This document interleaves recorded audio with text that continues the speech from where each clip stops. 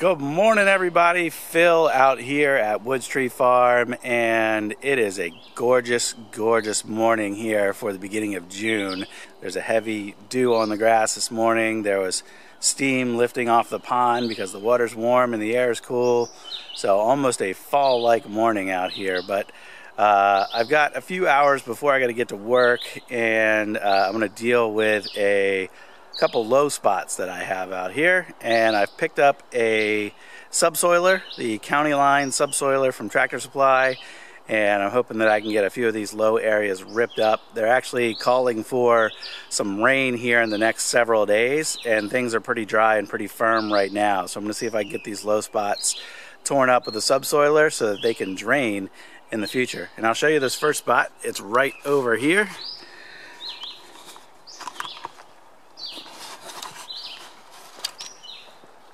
You know, sun coming up over the trees there. But we're walking down this hill, and this is kind of the back part of my main field.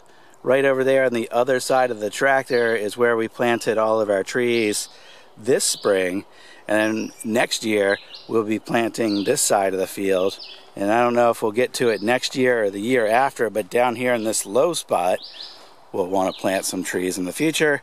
And right now, it's just too wet.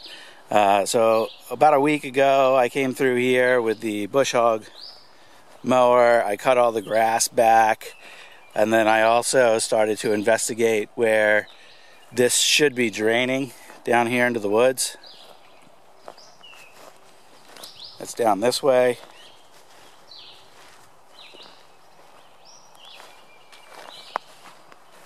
And you can actually see and this is a muddy area. We haven't gotten any significant rain in quite some time.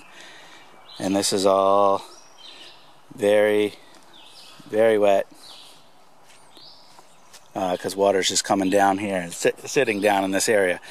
So this is the area here, especially up that way where the grass is cut, that I really want to get the ripper through.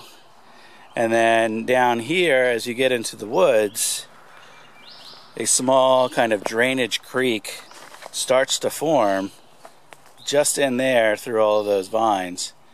So what I think I need to do, and I'm not going to do it today, but what I think I need to do is bring in the box blade in here and excavate this a little bit more. So I think what's happened is over time, leaves and sediment have piled up down in this area and it's preventing water from coming down this hill and getting to that little drainage ravine down that way. So I think what I'll need to do is kind of a combination of subsoiling and grading through here. But today I'm just going to work on the subsoiler and I'll come back another day and go over there and scrape out some of that with a box blade and see if I can't get this to drain a little bit better. So, all right, let me get the subsoiler hooked up here and uh, we'll see how it works.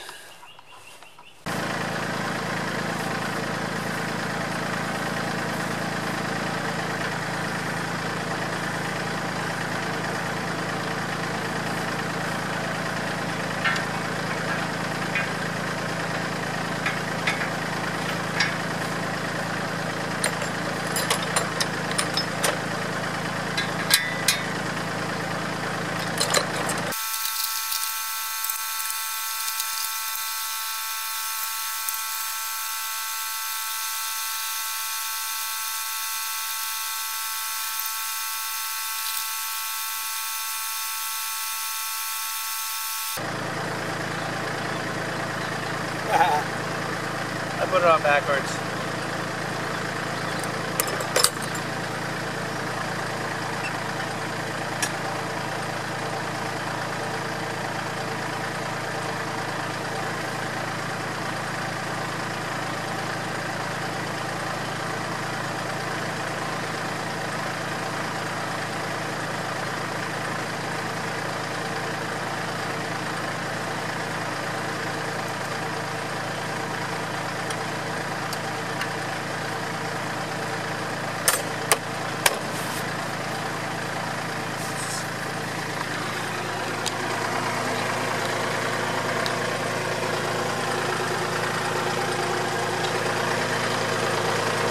All right, we're on. I'll have to play with the top link adjustment to see about getting the angle right.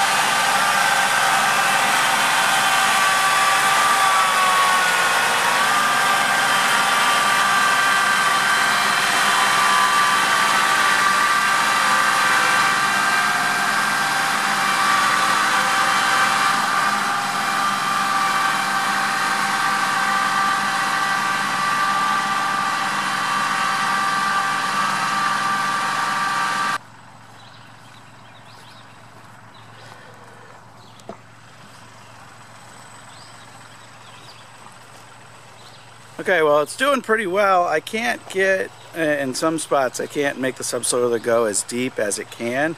The tractor's getting bogged down and there's not enough traction in the soft soil to uh, keep moving forward. So I'm lifting the subsoiler up a little bit to, uh, you know, just try to make the progress that I can. I bet if I hook the subsoiler up to the other tractor, the heavier tractor, it'll do a better job at getting down deeper because it's heavier and it'll have better traction. But for today uh, and for the first try, uh, this is probably, you know, doing something. Something's better than nothing. So I'm gonna make a few more passes here.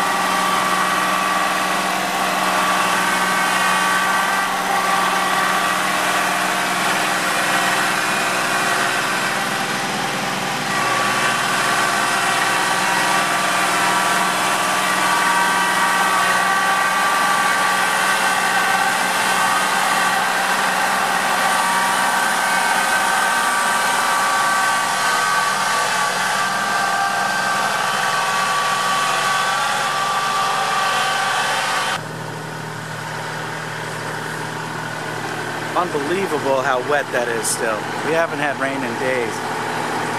And uh, this is just muddy, muddy mess here. Uh, I'm guessing that there's just like hard clay underneath this top layer. That's what we've seen elsewhere in the property. And that clay is really compacted and there's just no water penetration through that layer. So hopefully that's what the subsoiler does is it rips that up and allows water to drain down inside. I've got another wet spot way over on the other side of the property and I'm going to see if I can make any progress over there.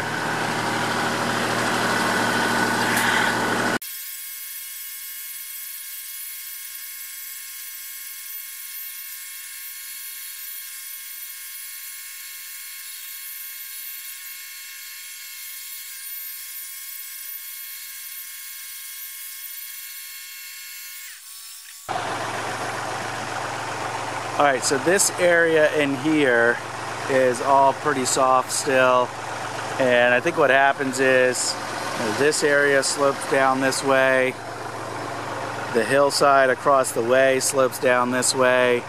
And this is somewhat of an area here that's got a little bit of a bowl shape. And just over inside that tree line is the creek that feeds my pond. So apparently this there's not enough slope here to really let this area drain over into that creek and this area has just been wet as long as we've owned the property.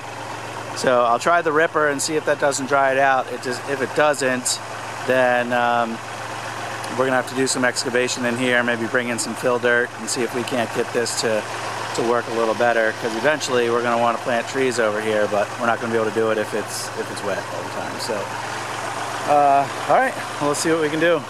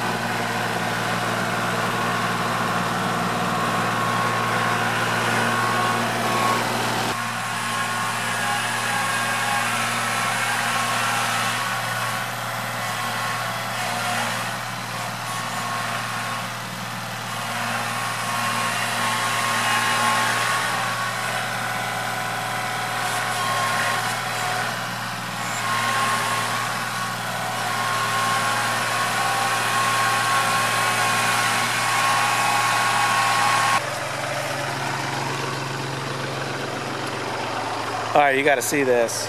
So there were a bunch of places, and you probably saw I had to really feather the um, the height on the three point. But there's some places where I was getting hung up, like here, for example, uh, and I had to lift the three point up in order to get for forward motion, and it just ripped out a huge chunk of earth here. That's uh, you know almost up to my knee. I'm gonna try to push this pile back in.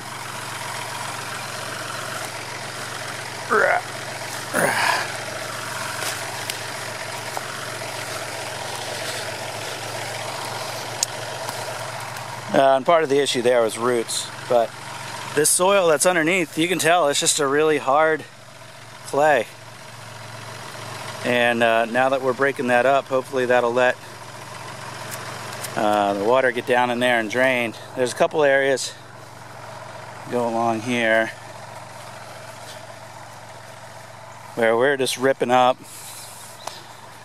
like really clean looking clay. Look over here. Look at this. So down inside here, you can tell we are getting down uh, as far as the ripper would let us, and then we'd get stuck because this stuff is just so dense. Look at this. It's actually really hard for me to break apart by hand. But that's the clay layer that's not letting any of the moisture get through. Uh, that's almost like pottery clay. It's perfectly moist. It holds its shape really well. That's fascinating. Uh, here's another big hole that we ended up digging up with the ripper. So I think, you know, what this is telling me is that this field's going to need a lot of work. Uh, so I'm probably to have to do this multiple times. I'm to have to do it in the fall so I can sit like this over the winter. Um, there's another area. But for now, at least, Made a few gashes in here. Hopefully some of the water that's on the surface will start to drain. This area can dry out a little bit. And if we end up getting any drought, hopefully this area will dry out. All right, well that's it for today. Thanks for watching this video with my first time using that county line subsoiler to try to take care of some low wet areas here on the property. Over here behind me, uh, I couldn't get any traction and the subsoiler couldn't get in the ground at all without bringing the tractor to a stop. So I'm going to bring in some fill dirt here on another day and see if I can't fix that area. That area is a real problem. And uh, the rest of the pasture though out here, I made some pretty good grooves. I hope it improves the uh, drainage. I'll keep you guys updated in future videos. Make sure you subscribe. If you like this video, give it a thumbs up. Appreciate your time watching. Talk to you later. See ya.